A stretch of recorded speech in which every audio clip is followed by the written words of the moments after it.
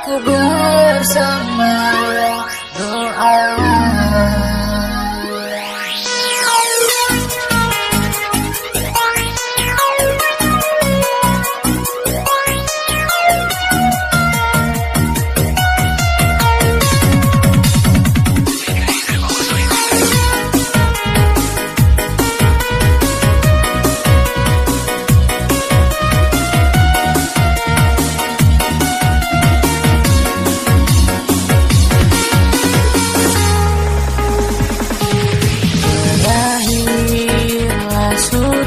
cerita kita.